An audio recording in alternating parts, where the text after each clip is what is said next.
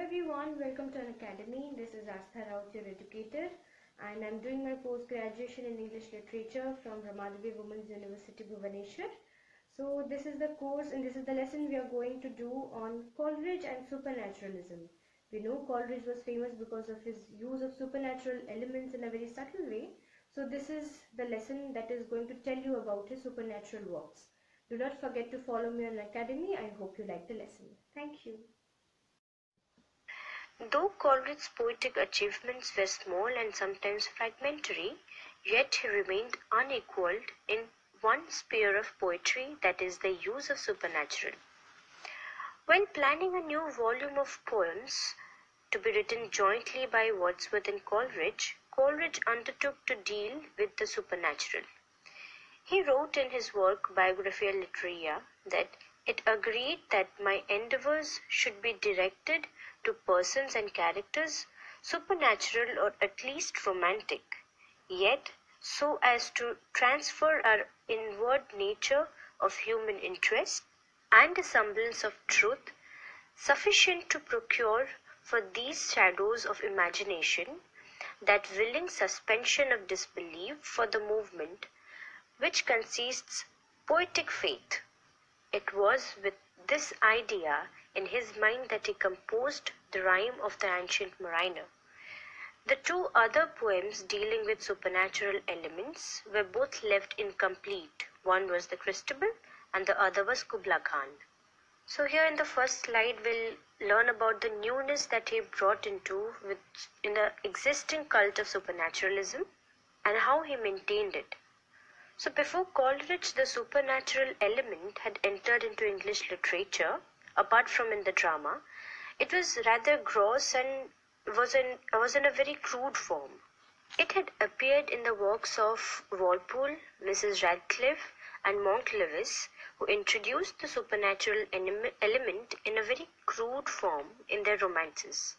They had tried to produce an atmosphere of mystery and horror by artificial devices like sudden transformations or noises and thunders and awful appearances.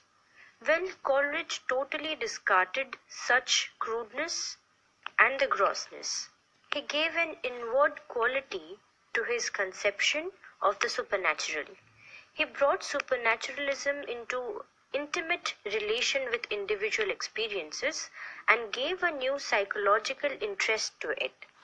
The difference between Coleridge on one side and Walpole and, Miss, and Mrs. Radcliffe on the other is the difference between the maker of horror and the maker of horrors.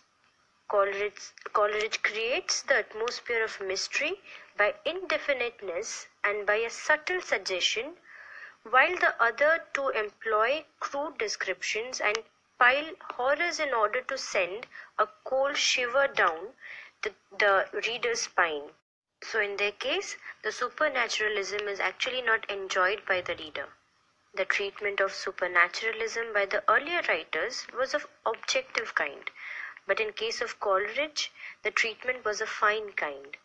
The supernatural is brought in the line with subjective experiences.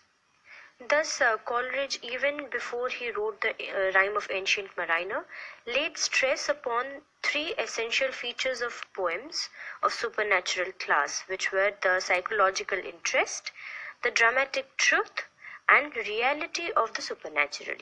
So, the next thing we'll be studying about is how Coleridge explores the human psyche through supernaturalism.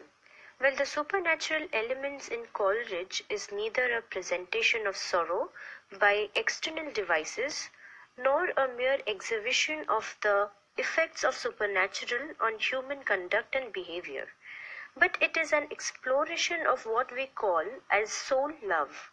Well, soul love is the deepest emotion of a soul which is explored by the experience of supernatural. Secondly, the incidents and emotions arising from them are so full of human interest that they acquire a, a dramatic truth and produce a suspension of disbelief while, consti- while which constitutes the poetic faith. It is only the dramatic truth of the mariner's emotions in the Rime of ancient mariner that gives an air of reality to his weird ex- experiences. Well, the supernatural in Coleridge appears to be very real, not objectively but uh, on a psychological level. Reality does not consist merely in external appearances of things perceptible to the senses, but also in the deeper passions and experiences of the soul. So all his uh, three poems of, on supernatural, which which are the Rime of Ancient Mariner, Christabel, and Kubla Khan, all of these have these main characters of supernaturalism, which appears to be very true and real. The secret of Coleridge's unique success work on the mind and not merely was on external objects. He played with the mind of reader. He knew with his psychological insight that the mysterious world of the supernatural must remain a mystery, and that subtle suggestion only can produce this sense of mystery, not the psychological insight or the crude descriptions. It is with delicate touches of suggestions combined with the insight he brings out all the shady or the shadowy mysteries of the unseen world. The art with which Coleridge excites supernaturalism and the wonders of supernatural produces an atmosphere of what Aristotle calls the higher illusion of reality. So thus it is the human note in his poems dealing with supernatural that helps to create this sense of reality. So next we have imagination playing an important role in the supernatural elements. So Coleridge engaged himself in the inquiry into the quality by which the poetic imagination gives an air to the reality, to the marvelous. We discussed it in the similar, uh, the similar concept in the previous lesson that how Coleridge makes the supernatural look real by the dramatic truth and, expo- and exposing all the emotions and make appear really true in our eyes. He adds sense of actuality and substance, but we, we I forgot to mention and I'll mention it here. He has a very dreamy quality that he meant, that he portrays in his work. The mystery, the strangeness, the weirdness of the supernatural they cast a spell on a dreamy imagination of Coleridge. So on us. Poet clings to the memory with peculiar tenacity of dreams, and thus he conveys the same in the same intensity to us. So after this dreamy quality and the supernaturalism in this in his imagination, we'll study about the blend of natural and supernatural in his works. Coleridge has blended the supernatural and natural phenomena so skillfully and successfully that no reader can draw a line of demarcation between the two. Nor a single reader can differentiate or can say that here is the natural aspect that ends and the supernatural begins. It is divided in a very thin line and nobody can actually figure it out.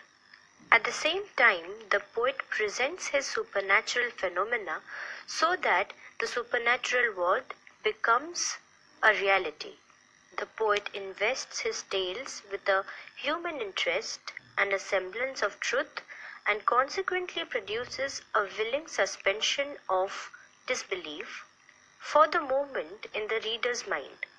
The fantastic and the real, the human and the supernatural the probable and the improbable are so well lit that the total effect is one of realism.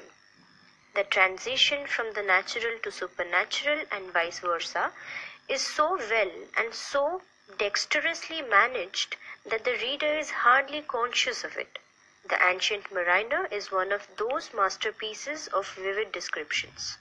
He also employs the similes which are familiar and natural in the supernatural aura which makes it which makes his work even more attractive.